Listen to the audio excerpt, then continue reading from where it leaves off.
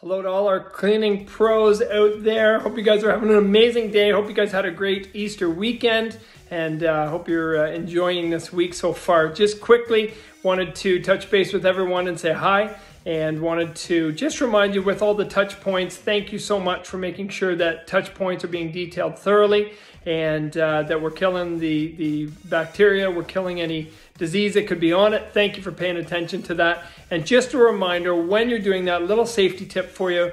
Uh, make sure you're not inhaling the chemicals that you're spraying. So again, either wet it on a cloth a little bit or uh, just use a straight stream so that we're not breathing in the chemicals.